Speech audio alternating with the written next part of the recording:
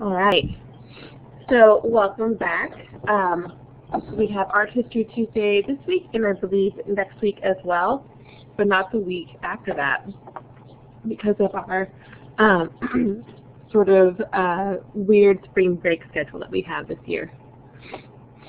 I'm gonna have a little bit of um, allergies today, so like some hay fever. So if my voice is sounding weird, or if I'm sniffly, it's definitely because of the sheer amount of pollen that is starting to fly through Richmond right now. All right, so our opening question is, how does an artist show their own story in their work?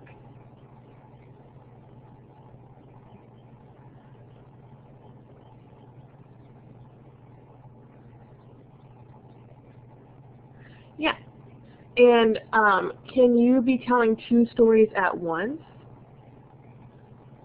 in a work? Yeah, definitely. And we see that a lot in the artist's works that we're looking at. Not only are they sending a message about something, but they're also uh, sort of uh, telling you something about themselves. This is a time in history um, we're getting into like the 1940s essentially. So this is um, uh, around post-World War II, a little bit into World War II. Um, and uh, the art world has changed a lot since the Dada movement that we saw last week and is accepting a lot more, but also the understanding of psychology is becoming more and more uh, important in the art world. So we're going to look at two artworks today because we only have a few weeks left. And with this one, you can type on the board one thing that you think you see happening, and I'll do the other.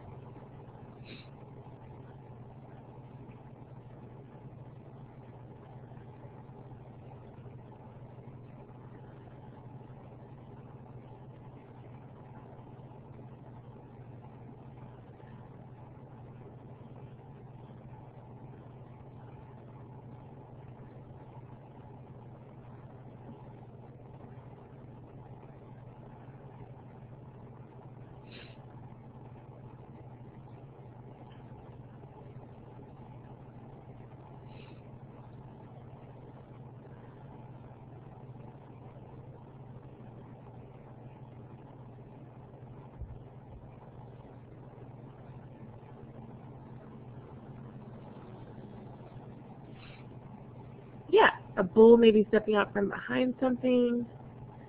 And then this is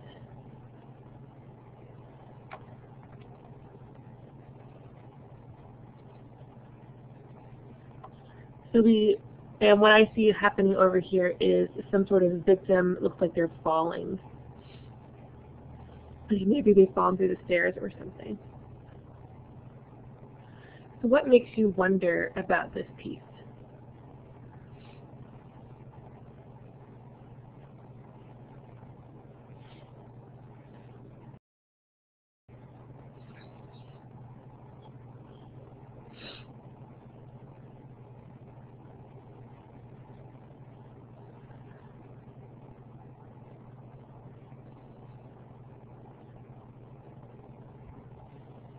Ooh, yes. What does this represent and why is it so layered and complex? So this piece is incredibly symbolic. And you're right, it is very layered. We're looking at the piece Guernica by Pablo Picasso. I didn't write that name up there. I'll do that real quick for reference. I know we talked a little bit about him off of the recording last week, um, a little bit about what we know about Pablo. So I'm going to have to say some things on the recording to give a frame of reference. So for starters, um, what culture is Pablo Picasso from? What country? Spain, right. Um, so Pablo Picasso, one of the most famous artists of all time, um, he actually got his start when he was really, really young. He was a child prodigy. So kind of like when you think of like stories of famous kids who like get started in the Disney Channel or you know, Mozart of art, right? They get started on the Disney Channel and such at a really young age and they become like major actors at the age of 8 or 10.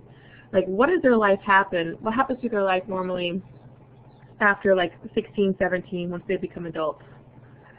Are those child stars normally very active? in the like movie world?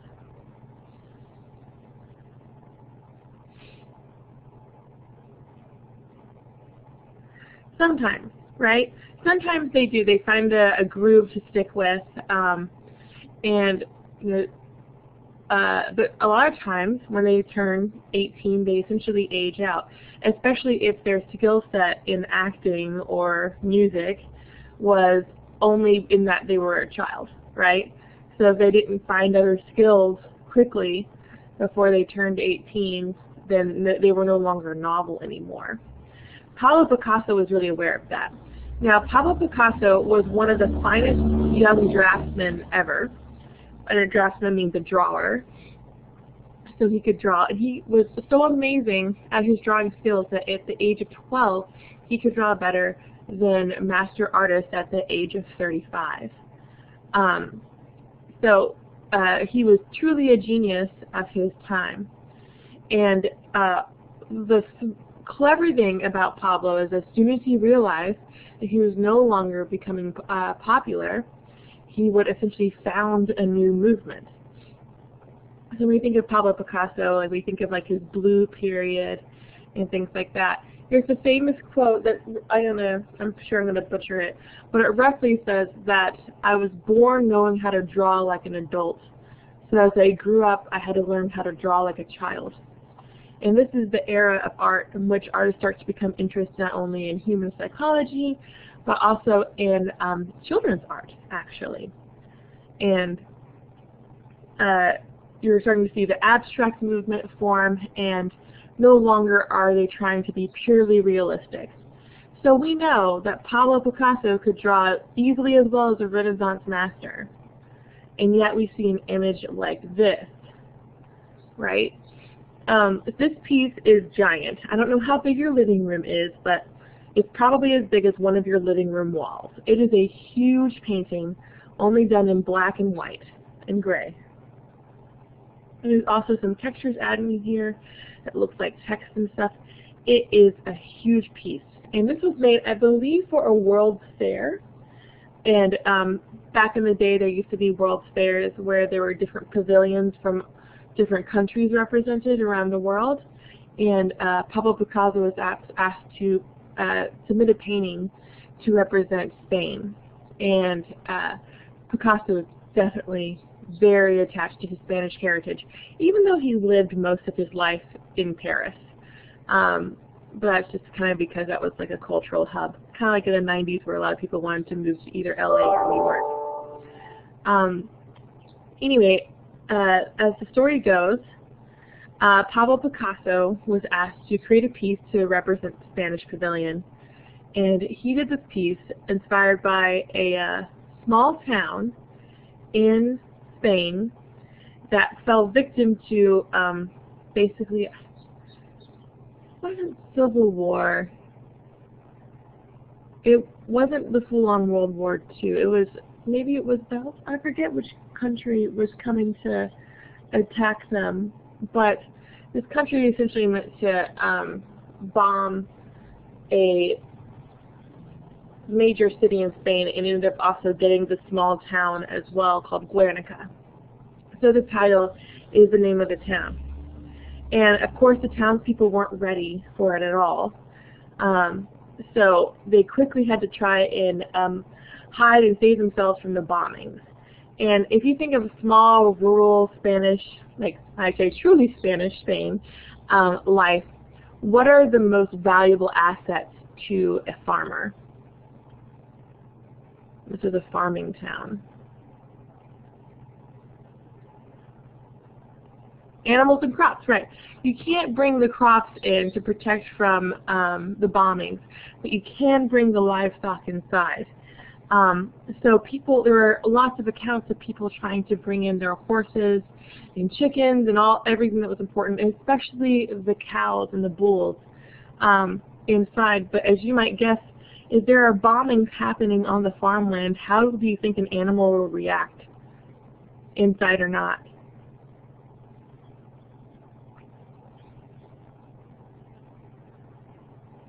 Crazy, right. So imagine these giant animals stomping, running around in the houses. people who were unprepared for this, um, and then many got trampled. Yeah, like dogs with thunder, right? Many people got trampled in their own homes trying to protect their livestock. Um, and this isn't unusual. This still happens today um, if the town isn't prepared. There were actually at this, at this point in history there were lots of preparedness stuff in the U.S. on how to hide from a bomb. This was at the same time in which they started telling people, you know, kids to hide under desks and stuff if there was going to be a nuclear bomb. Um, the fear was rising. So Picasso painted this theme of the tragedy that was happening inside. In effect, that you know maybe the people bombing had no idea would be a big deal, um, but sort of you know in trying to protect what you love, it was also destroying you. And so we see the chaos inside, and it's loaded with symbolism here. And I talked with you a little bit about it last week, um, but Pablo Picasso is not a humble guy at all. He knows he's one of the best artists of his time. He does not doubt that. Um, therefore, every piece that he has ever made also represents him as well, and he openly talked about it too. Um, it wasn't something that we have to look into deeply. Um, Picasso was like, yes, this also represents me. And can you guess which character in here is supposed to be Picasso? You can circle it on the screen.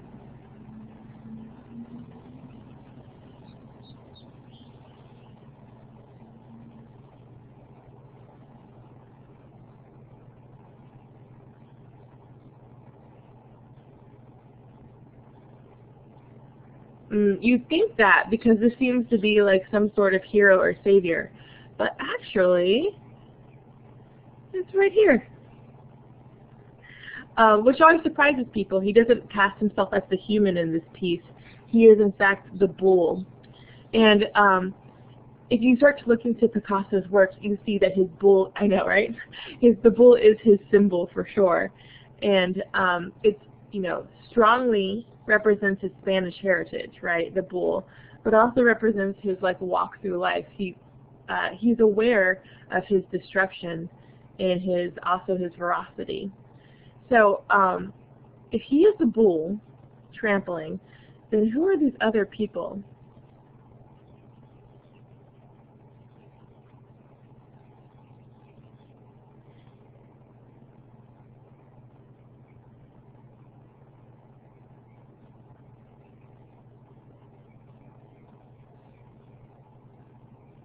His family and other others? Yeah. So it's mostly his family um, particularly his wives. So um, in the course of his life, he had three official marriages and then uh, many unofficial uh, partners that he was dating while he was married. And uh, we don't know for sure if um, Pablo Picasso pushed these women to it or uh, he may be just attracted to women who are on the edge but two of the three women in his life did die, um, did commit suicide while married to him, um, which is a pretty intense track record to have. Um, once again, we don't know the full details, but we do know that him being an open womanizer and cheater and stuff obviously did not make a, a safe and happy household, for sure. So um, many of the other uh, figures in here are debatably some of the women um, in his life, and this is him, you know, internalizing that and understanding that in this piece. Um, and this character right here um, is actually one of his last wives. I don't even remember if she was official. Um, but when he was in his 60s, I believe, maybe his 50s, um, he was dating a woman who was only like 25 um, and uh, he they got married. She was a photographer too for his artwork, and uh, she also lost a baby. So you know she got pregnant, had a child, and the child um, I believe died before the age of one. I don't remember the full details of it. There's lots of documentaries about this stuff. So this is him like looking over and almost mourning this tragedy that's happening with her. And so this is definitely a piece that was at the height of Picasso's fame um, which was really always very high. Like he was a very popular guy throughout his entire life.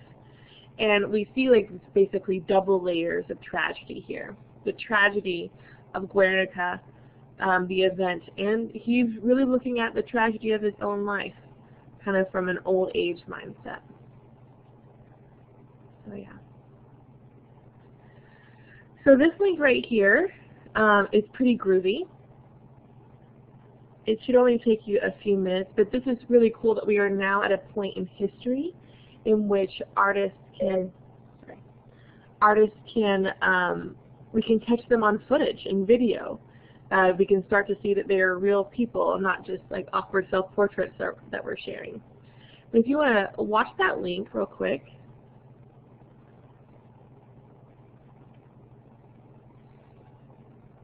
and then just respond with what surprised you about the artist from seeing the video.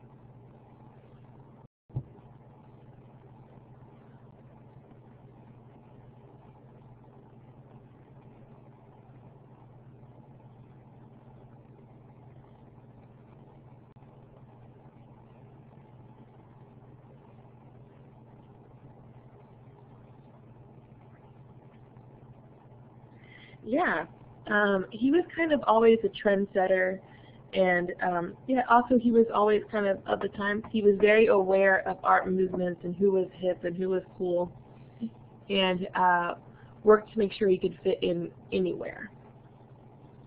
And it's pretty cool. Um, he was such a big deal at this time that he was, you know, uh, followed all the time by uh, broadcast and news companies and documentary companies to see his work being done. Um, and this is nice that we're getting into this age in art history in which um, our artists are becoming real people. So we're going to transition now from Guernica to this next piece as we're having a double um, art history feature day. So once again, you can choose what you think is happening in one part and I'll write the other.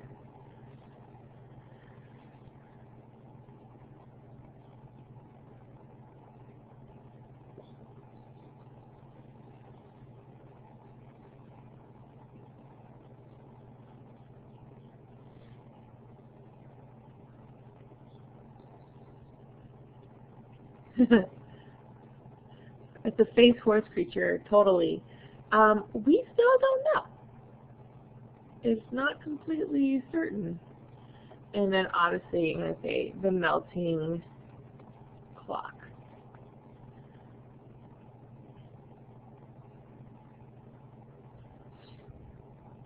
So what makes you wonder about this piece?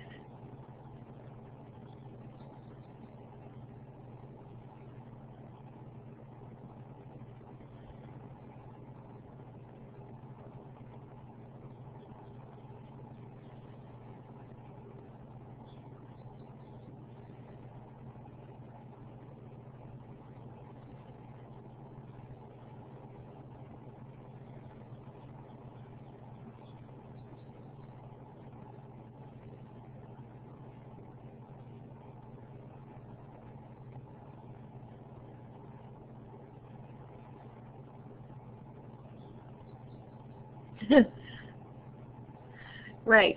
Um, what is this creature thing? Why are the clocks melting? where are we? Um, there's a lot of that going on here. So the title of this piece is called Persistence of Memory by Salvador Dali, which once again I didn't write up the name. We do that now?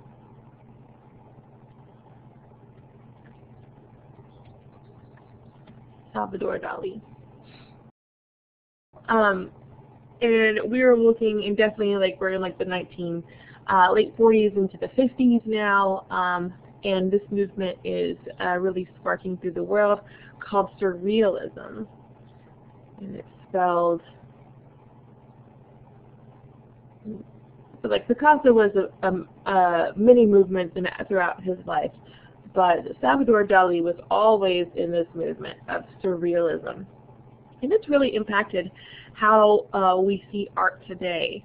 And that word surrealism, uh, obviously we can see the realism in here.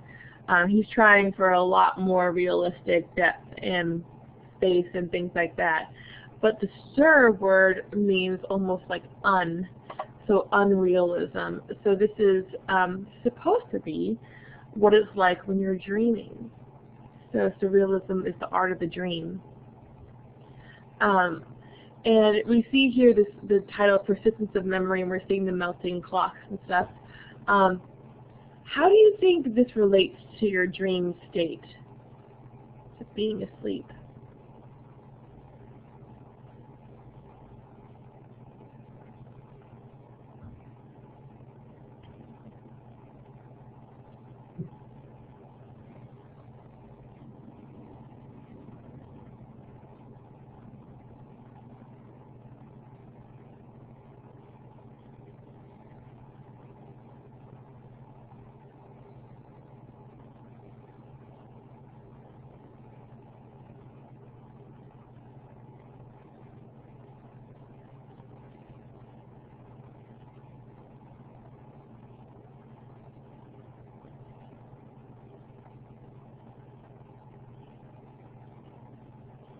Yeah, for sure. All of these are believable things. Like, I've seen a platform in my life. I've seen uh, some cliffs in my life. I've definitely seen clocks in my life and some weird desk in my life and trees. I've everything here I've kind of seen before, but it doesn't quite fit. Um, and that's something that they call juxtaposition.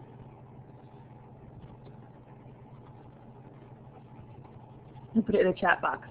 So juxtaposition is a really good, um, I spelled it wrong, it's a really good SAT word. If you use it in any of your papers, when you're writing, your teacher will think you're a genius. Um, and all it means is putting things next to each other that don't belong, right? So clocks that make sense to us, but the, what something that a clock wouldn't do is melt, especially like this melts enough to be hung out to dry like on a tree limb.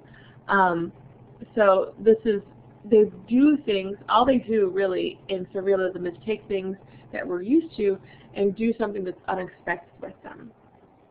And um, it's a pretty simple formula to follow through with, and if you try and do that on your own, you'll find that very quickly you'll make unreal images. And Salvador Dali um, is another Spanish artist, but to be Spanish didn't matter quite as much to him as it did to um, uh, uh, Picasso. And he was a very, very strange guy. Um, he was another celebrity of his time. Um, he would, when other men would, were wearing really simple mustaches or no mustaches at all, he had a giant mustache in which he would take the tips of it and wax it to a point, so it looked like two needles sticking out from his face.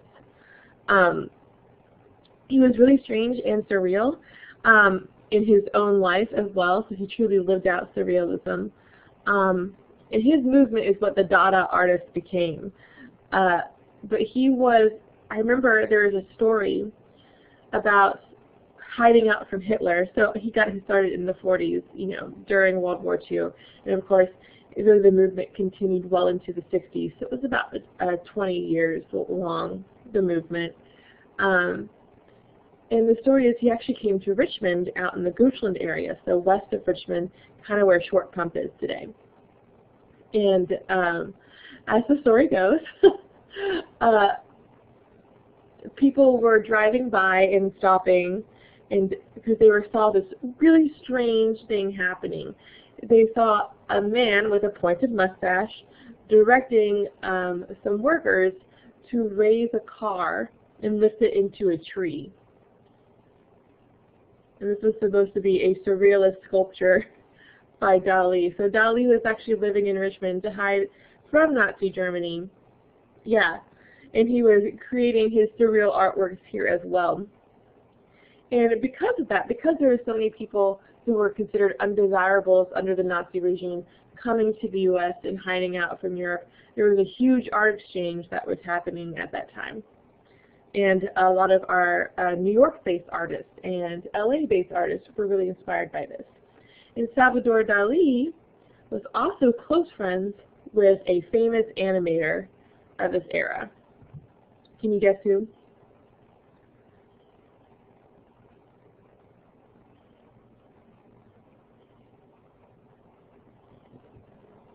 Yes, exactly. Walt Disney. So um, you can start to see how some of this almost looks cartoon-like. Um, Dali and uh, Walt Disney had planned a movie, an animated movie together. It was to be a work of art, not your traditional film. Um, and sadly, like I believe Walt Disney died before they could ever make it. But the movie is called Destino. So several years ago, you can find it on YouTube really easy. Um, so several years ago, uh, the Disney Animation Studios pulled out the plans, the original sketches, and the drafts of what the movie was going to be, and they animated it for him in honor of Dali and uh, Disney working together. And if we have time at the end, I'll pull it out for you and link it in. Once again, if you can look at this video here, it's pretty short. This is an interview of Dali himself. He says some interesting things about what it is to be an artist.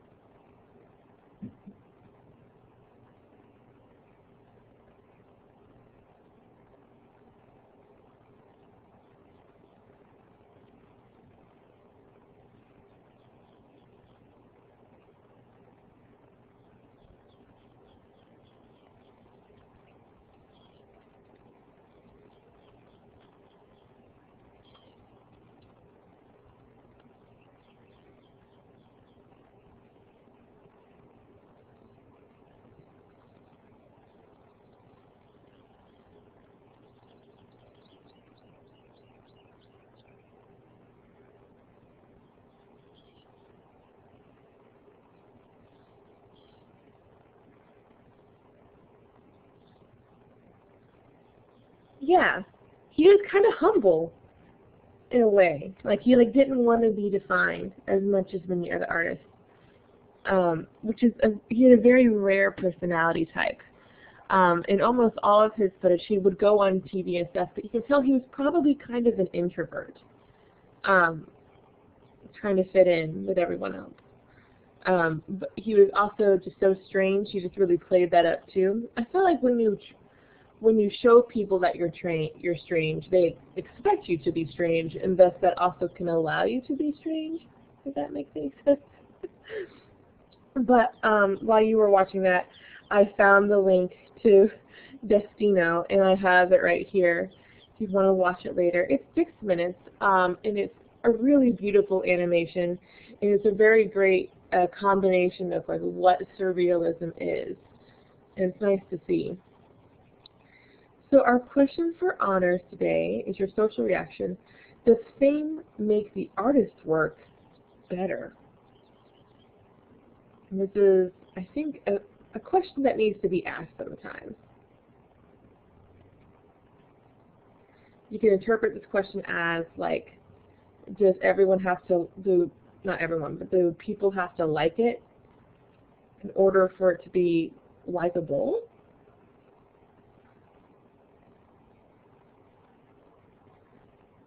Let me save this honors question real quick.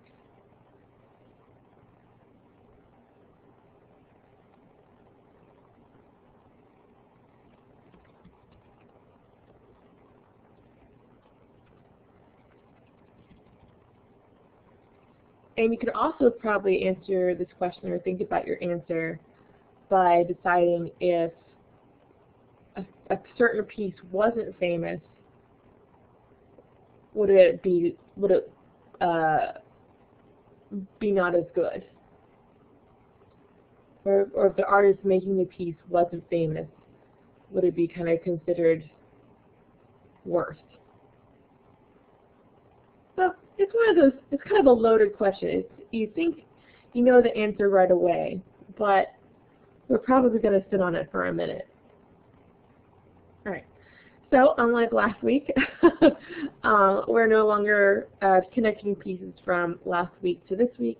We're just going to do the ones we had today. Um, so why don't, uh, before you describe like the style of one, you can call this one like uh, G for Guernica, and this one for P for persistence of memory. So whatever one you're referring to, just write, you know, the process of P, or P equals, um, and I can give an example real quick. Cool, all right.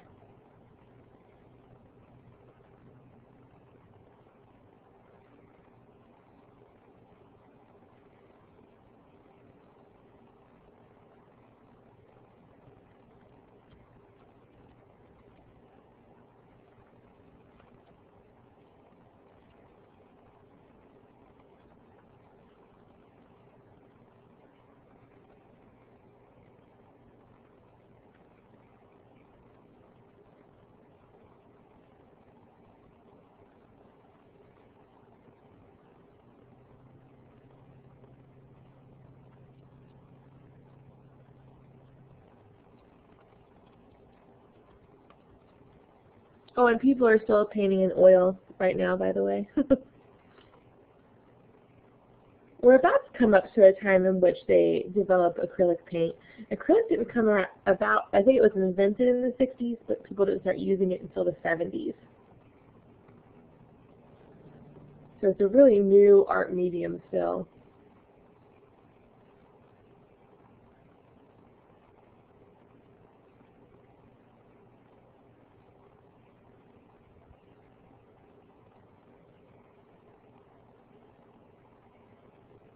Great.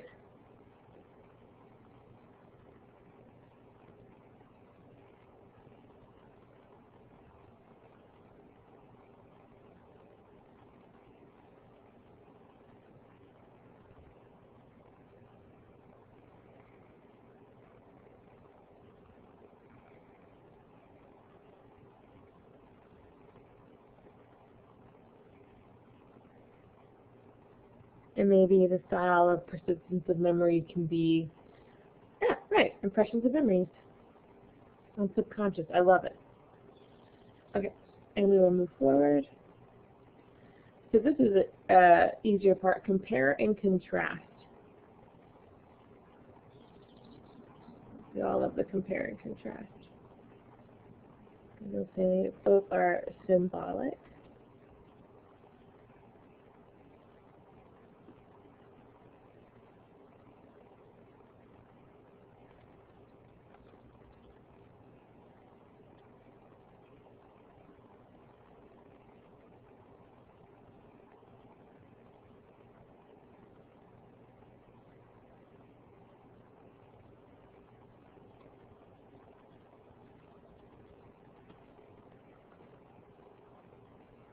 Mm, right. They both are abstract. I should use a different word.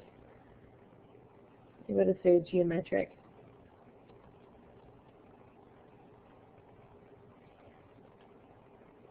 Ooh, you're right. They're both Spanish. um, I would say the one to the left is almost more cartoonish.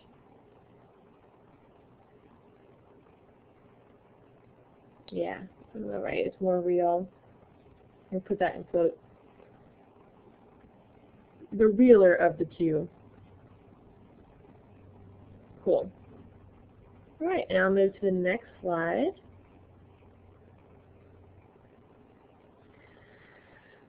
So you can refer to either here. How do, does one or both of these works impact the art world?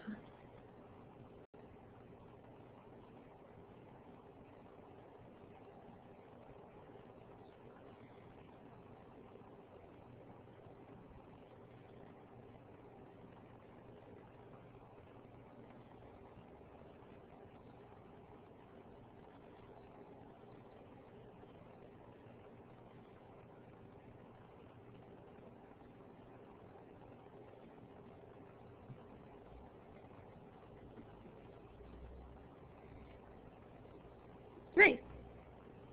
Right. In um, the left, we see like Picasso's double message here, one about Guernica and one about his life.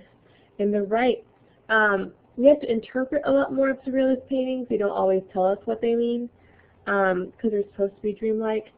We we can start to question time itself and the idea of persistence of memory, time melting, and um, also we can start to wonder a little bit more about uh, the experiences that Dali has in his life and um, does he feel like time is passing? Lastly, how does this impact you? Now turn off the recording at this point.